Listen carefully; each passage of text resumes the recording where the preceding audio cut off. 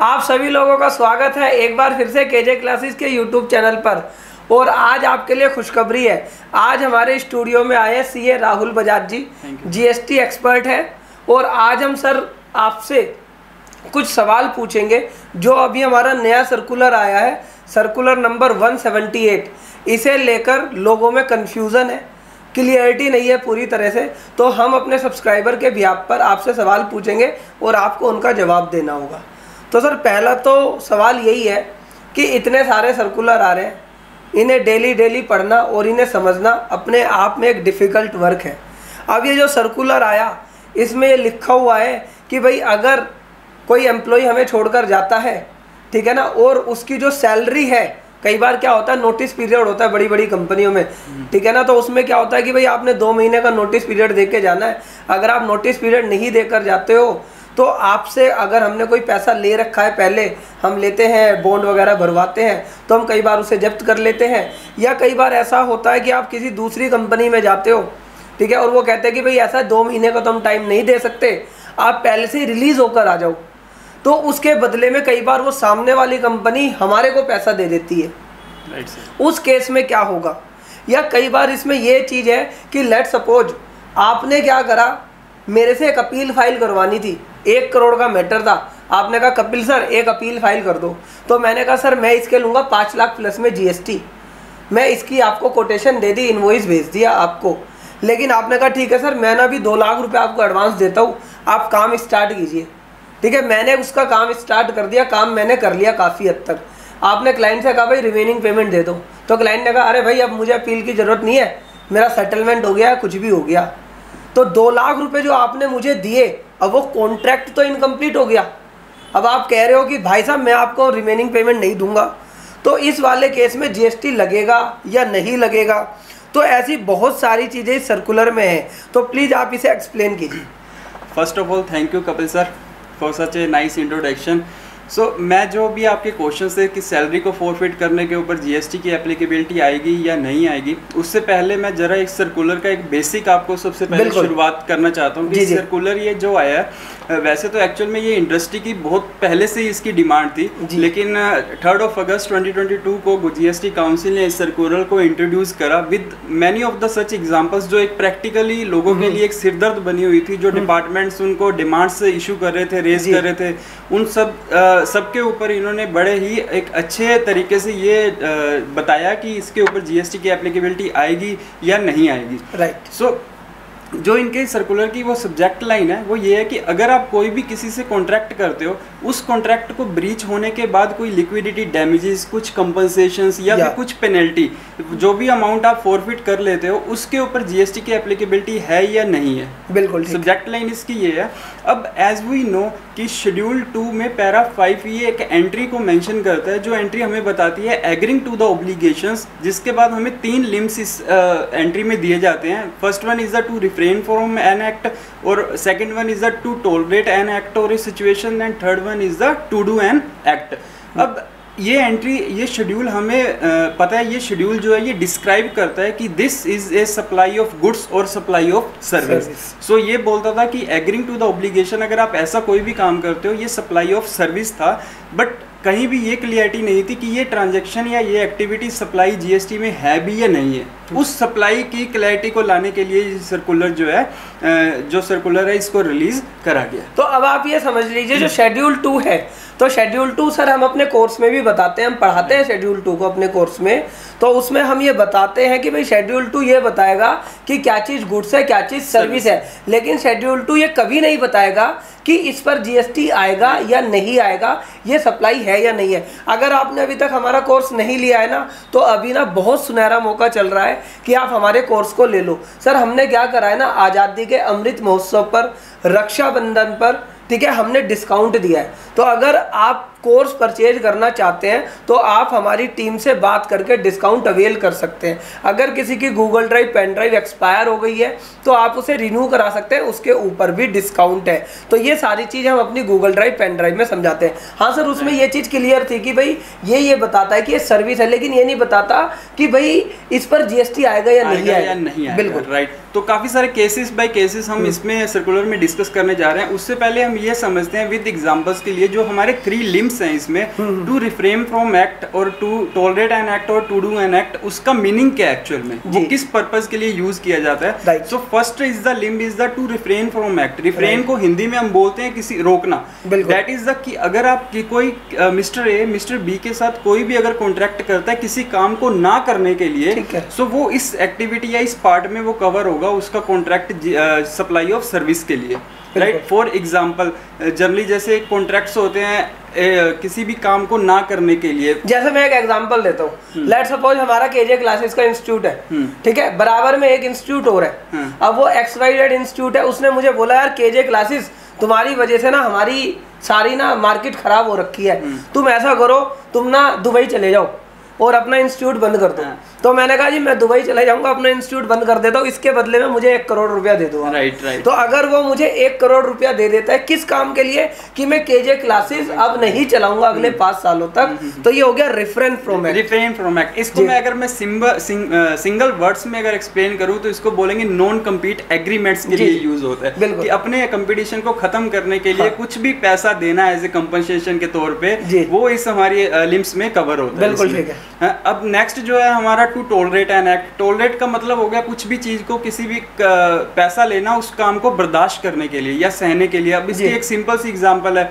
किसी भी मार्केट में शॉप्स के सामने आप देखते हो कुछ खाने वाली रेडियाँ लगी होती हैं या फिर कुछ पार्किंग के होते हैं। सो so, उनके उनके लगने की वजह से ऑब्वियस है कि दुकानदार को कहीं ना कहीं लॉस हो रहा है। किसी चीज़ को वो टोलरेट कर रहा है। उसके बदले में वो उनसे वो मंथली या ईयरली या क्वार्टरली कुछ ना कुछ कंपनसेशन रिकवर करता है वो activity as a supply of service इस लिम्स में हमारी कवर होती है। ठीक है। एंड थर्ड लिम जो है हमारा वो टू डू एंड एक्ट है। किसी भी काम को करने के लिए अगर हम कोई कॉन्ट्रैक्ट करते हैं ए बी कॉन्ट्रैक्ट करता है बी सी कॉन्ट्रैक्ट करता है तो वो इस एंट्री में हमारा कवर हो। मतलब कुछ करो तो भी जीएसटी कुछ ना, कर- करो ना करने के लिए भी कॉन्ट्रैक्ट करो तो भी तो भी जीएसटी ठीक है।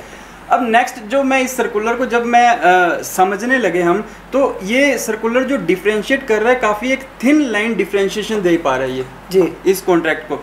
अब हम अ, जब हम सर्विस टैक्स पढ़ते थे देन सर्विसेज़ की हम डेफिनेशन क्या रीड करते थे? कोई भी एक्टिविटी जो एक पर्सन के द्वारा दूसरे पर्सन के लिए परफॉर्म करी गई है with a consideration that is the two basic element और इम्पोर्टेंट एलिमेंट्स जो होते थे हमारे वो first one is the consideration and second one is the activity जो एक द्वारा दूसरे की परफॉर्म करी गई है। Right. अब ये सर्कुलर कह रहा है इसमें एक तो कंसिडरेशन के साथ साथ जो आपकी एक विलिंगनेस है किसी की दोनों पार्टीज़ की डिजायर्स है किसी भी कॉन्ट्रैक्ट को करने के लिए वो नेसेसिटी है वो होनी चाहिए कॉन्ट्रैक्ट को परफॉर्म करने के लिए। Right. क्योंकि हम जब भी किसी पर्सन के साथ कोई कॉन्ट्रैक्ट करते हैं तो कॉन्ट्रैक्ट को परफॉर्म करने की हमारी इंटेंशन होती है सर ना कि कभी उस कॉन्ट्रैक्ट को ब्रीच करने की। राइट राइट राइट सो इस इंटेंशन को देखते हुए इन्होंने कहा कि अगर आप मिस्टर ए मिस्टर बी के साथ कोई भी कॉन्ट्रैक्ट कर रहा है और मिस्टर बी उस कॉन्ट्रैक्ट को बीच में ब्रीच कर देता है और उसके बदले में मिस्टर ए अगर लिक्विडिटी डैमेजेस या कंपनसेशन कुछ भी रिकवर कर रहा है सो सिर्फ़ वो उसके लॉस की रिकवरी है ना कि वो उसके कॉन्ट्रैक्ट वो दूसरा कोई कॉन्ट्रैक्ट नहीं है हम उसको ये नहीं कह सकते वो टोल रेट एंड एक्ट के लिए जो जनरली जो नोटिस आ रहे थे ना वो इसीलिए आ रहे थे कि इसको हम टोल रेट एंड एक्ट के लिए कवर करेंगे और ये सप्लाई ऑफ़ सर्विसेज़ माना जाएगा राहुल जी GST माना लेकिन जाएगा। लेकिन राहुल जी इसे लेकर तो एक टैक्स प्लानिंग हो सकती है। वो टैक्स प्लानिंग कैसे हो सकती है? आप उसे टैक्स प्लानिंग कहेंगे टैक्स इविजन कहेंगे तो आप हमें कमेंट बॉक्स में लिखकर बताना। मैं आपको एक एग्जांपल देता हूँ। एग्जांपल क्या है कि राहुल जी आपने मेरे अकाउंट में पाँच लाख रुपए दिए। हम्म। अब आपने मेरे अकाउंट में पाँच लाख रुपए दे दिए कायदे से मुझे उस पर जीएसटी देना है मैं आपको सर्विस प्रोवाइड करता हूँ जीएसटी हम्म। देना है ठीक है लेकिन मैंने क्या करा कि यार इस पे पाँच लाख जीएसटी नहीं देते हम्म। तो मैंने क्या करा एक एग्रीमेंट बना दिया राहुल जी से कि राहुल जी और जो मेरा एग्रीमेंट हुआ था वो 20 लाख की सर्विस का हुआ था किसी अपील को फ़ाइल करने का हम्म। और वो हुआ क्या कि राहुल जी ने पाँच लाख मुझे एडवांस दिए और पंद्रह लाख काम होने के बाद देंगे। लेकिन उन्होंने पंद्रह लाख रुपए मुझे काम होने के बाद नहीं दिए। तो ये क्या हुआ? मैंने जो एडवांस पाँच लाख रुपए लिए थे ये मैंने फोरफिट कर लिए। हम्म। अब जब मैंने फोरफिट कर लिए तो ये वाली जो अमाउंट है पाँच लाख इस पर जीएसटी ना लगे। ना लगे। क्योंकि ये सर्कुलर तो यही कहता है। हाँ। तो इस तरीके से तो ये एक टैक्स प्लानिंग का टैक्स रिविजन का तैयार नहीं बन जाएगा।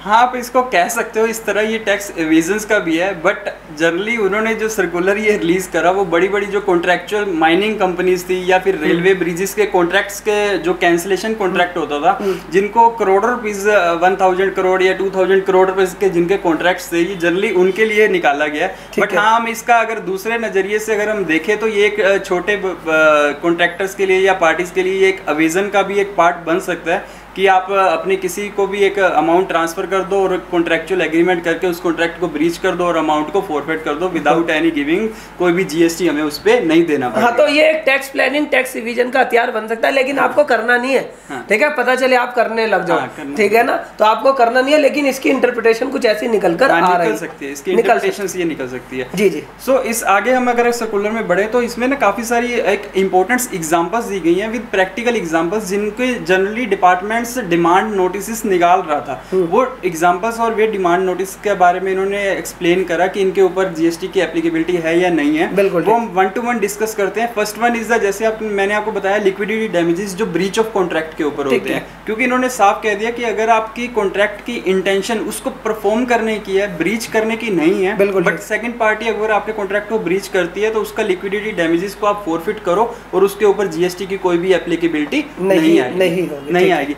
ऐसी सेम इन्होंने सेकंड एग्जांपल में दिया चेक डिसओनर के लिए।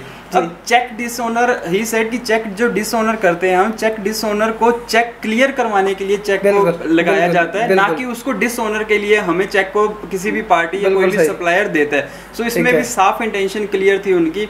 सो डेट से अगर कोई डिसओनर के बाद आपके ऊपर फाइन या पेनल्टी एप्लीकेबल होती है तो उसके ऊपर हम जीएसटी आपसे कलेक्ट नहीं करेंगे। राइट नहीं करेंगे। एंड थर्ड वन जो हमारे पास सिनेरियो इसमें केसेस केस आ रहा है लेट पेमेंट ऑन सरचार्ज और फ़ीस ये जनरली एक इम्पोर्टेंट है। अब क्या है कुछ हम फॉर एग्ज़ाम्पल हम वाटर बिल्स दे रहे हैं हाँ। इलेक्ट्रिसिटी बिल दे रहे हैं या फिर कोई भी अगर हम बिल देते हैं तो उनके ऊपर अगर हम ड्यू डेट के बाद उसकी पेमेंट करते हैं ठीक तो है। जनरली उसके ऊपर हमें लेट फ़ीस या इंटरेस्ट हमें उसके ऊपर देना पड़ता है हम्म। अब गवर्नमेंट इज़ सेड कि इसको हम एज ए सप्लाई ट्रीट करेंगे क्यों उनका कहना है क्योंकि ये एक एडिशनल फैसिलिटी आपको प्रोवाइड करी गई है है। कि आप ड्यू डेट के बाद आप पेमेंट कर सकते हो इवन आपकी इंटेंशन पे करने की है यहाँ भी बट हाँ। उसके साथ एक फैसिलिटी को एडिशन कर दिया उन्होंने कि आपको फैसिलिटी एक एडिशन में दी गई है कि आप इस पेमेंट को आप अपनी ड्यू डेट के बाद भी दे सकते हो बट विद इंटरेस्ट या विद लेट पेमेंट नहीं उसके so, लिए तो हाँ। अगर हम बात करें ना सेक्शन 12